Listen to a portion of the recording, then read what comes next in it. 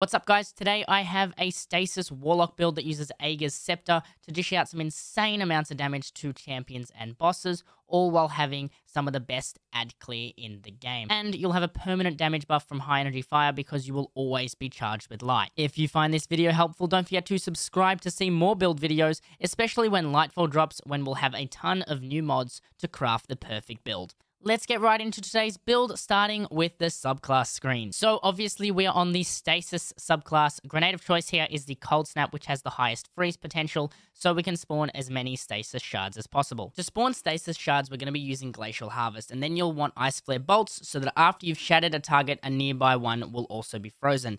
This helps the build get some crazy ad clear. The fragments. So we're going to want Whisper of Chains after you've frozen a target. Standing near them We'll give you that damage resistance, which is perfect for the higher level activities to keep you alive. Whisper of Conduction, so we don't have to go chasing after those shards. They'll just come straight to us. Whisper of Bonds to help charge our super even faster. And when you're using Ager's reload ability, it helps it go for longer so you can get the most out of it. And finally, Whisper of Fissures, which increases the size and damage of a shatter effect, which gives you even more ad clear. So exotic of choice. You can use two exotics for this build. I prefer the Aeon Soul just because I take it into endgame a lot and keeping my team topped up with heavy ammo helps with melting those higher health enemies. But you can also use the Osmiomancy Gloves, which gives you an extra cold snap grenade and you'll be able to spam your grenades furthering your ad clear capability. All right, now let's take a look at the mods you'll want to be running with this build. So first, you'll want elemental shards. So the stasis shards do count as elemental wells.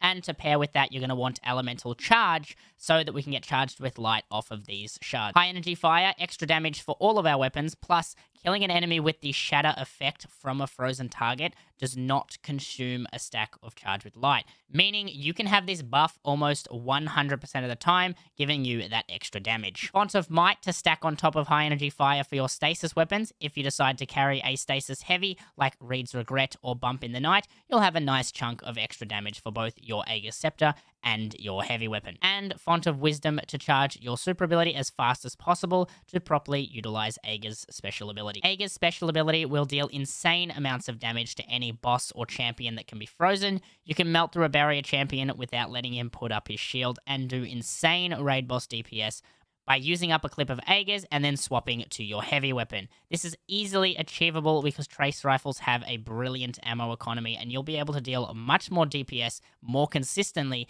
than other fire team members who are only using heavy weapons for their DPS phases. And that's all for the build. Give it a try and let me know what you think. Don't forget to leave a like if you found this video helpful and subscribe so you don't miss upcoming build guides and more. Until next time, happy grinding, Guardian.